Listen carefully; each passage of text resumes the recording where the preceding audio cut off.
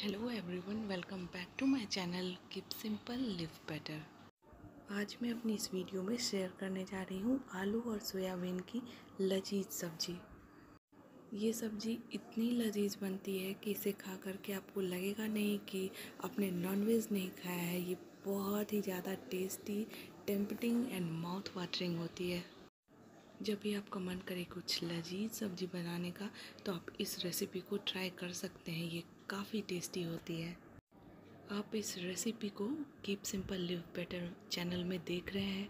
इसलिए ये ऑब्वियस है कि ये रेसिपी काफ़ी आसानी से बनेगी सिंप्लिसिटी के साथ बनेगी और बहुत ही कम इंग्रेडिएंट्स यूज़ किए जाएँगे। मैंने वीडियो को बहुत ही अच्छे से बताया है। तो आई होप आपको वीडियो अच्छा लगेगा। अगर अच्छा लगे तो प्लीज़ मेरी इस वीडियो को लाइक एंड शेयर करें एंड मेरे channel keep simple live better को सब्सक्राइब करें।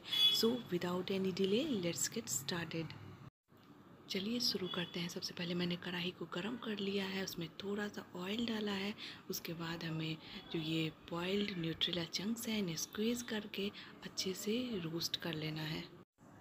इन्हें मीडियम फ्लेम पर अच्छे से रोस्ट कर लेना है, जिससे इन पर ऊपरी लेयर में ब्राउन क्रस्ट आ जाए। बस ज़्यादा कुछ नहीं, थोड़ी ही देर स्टे करने पर ये क्रस्ट आ जाते हैं और हमारी जो न्यूट्रेला चंक्स है, वो परफेक्टली रोस्ट हो जाती है। और ये देखिए, हमारे परफेक्टली रोस्टेड न्यूट्रेला चंक्स तैयार हैं। अब हम आगे की ग्रेवी की तैयारी करते हैं।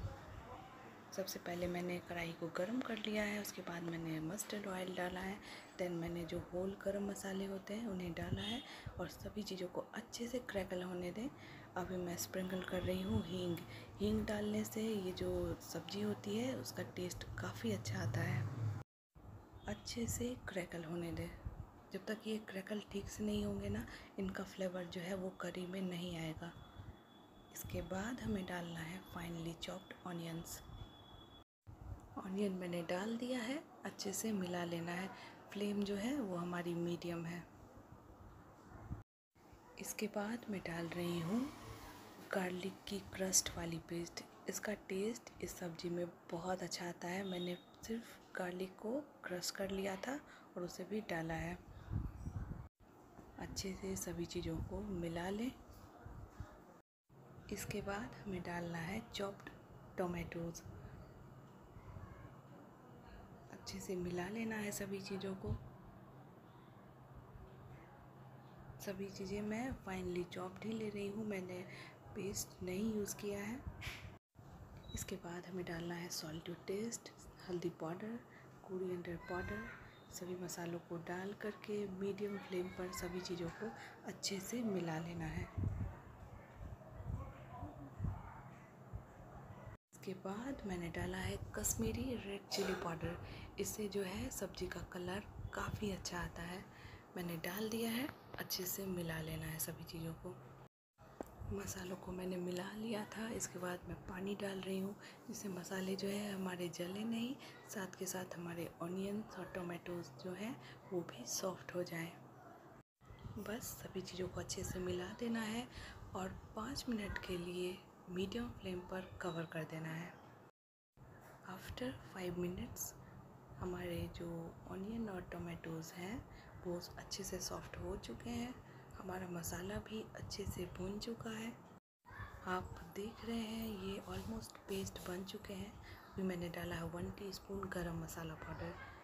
तो अगर पानी डाल करके मीडियम फ्लेम पर इस तरह से आप ढक देंगे तो आपके जो चॉप्ड ऑनियंस हैं, वो ऑलमोस्ट पेस्ट वाले ऑनियन के टेक्सचर में आ जाते हैं। देन फ्लेवर के लिए मैंने स्प्रिंकल किया है कसूरी मेथी।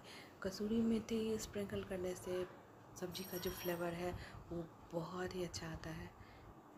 तो हमारा मसाला तैयार था। अभी मैंने डाला है हमारे जो रोस्टेड न्यूट्रेला चंक्स थे। मैंने न्यूट्रेला चंक्स को मसालों के साथ अच्छे से मिला लिया है, जिससे कि मसाले की कोटिंग हर एक चंक्स पे आ जाए।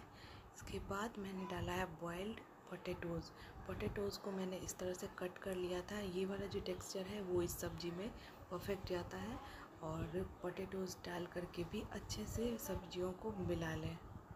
ये जो सब्ज़ी होती है, ये बहुत ही ज़्यादा टेस्टी होती है। प्लीज़ ट्राई करें। मैंने पोटैटो डाल करके भी अच्छे से भून लिया था। इसके बाद मैंने पानी डाला है और पानी डालते ही कुछ देर बाद सब्ज़ी में बॉयल आ चुकी है। पानी उतना डालें जितना टेक्सचर आपको पसंद हो। सभी चीज़ों को मैंने अच्छे से मिला लिया है। फ्लेम को हमें मीडियम कर देना है और 10 मिनट के लिए कवर कर देना है।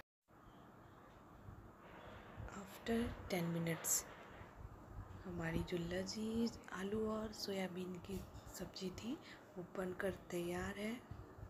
ये मसालों का बहुत ही अच्छा टेम्पटिंग सी रेसिपी को आप ट्राई कर सकते हैं। जीरा राइस प्लेन राइस, पराठा या प्लेन रोटी के साथ ये काफ़ी अच्छी जाती है।